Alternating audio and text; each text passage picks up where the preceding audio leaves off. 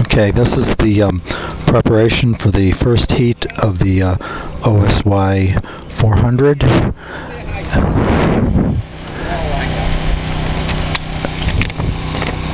It looks like we have five boats.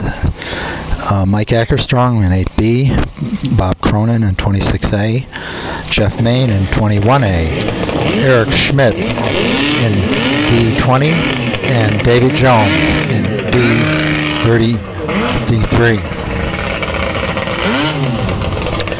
They're doing their warm-up at this point.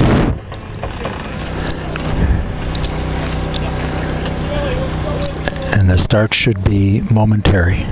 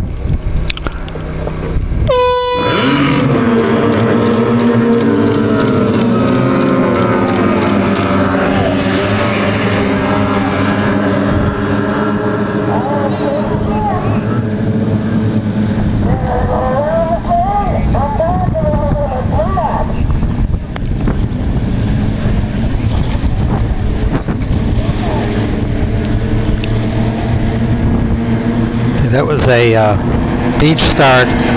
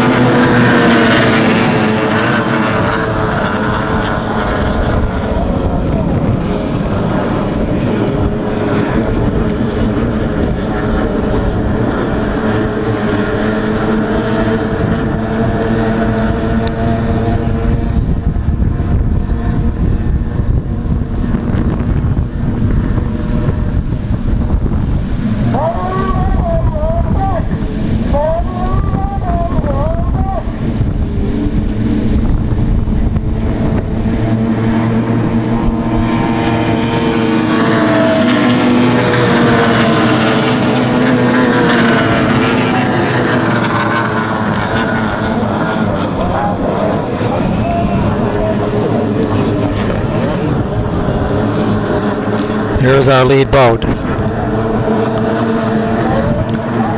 Looks like Davy Jones.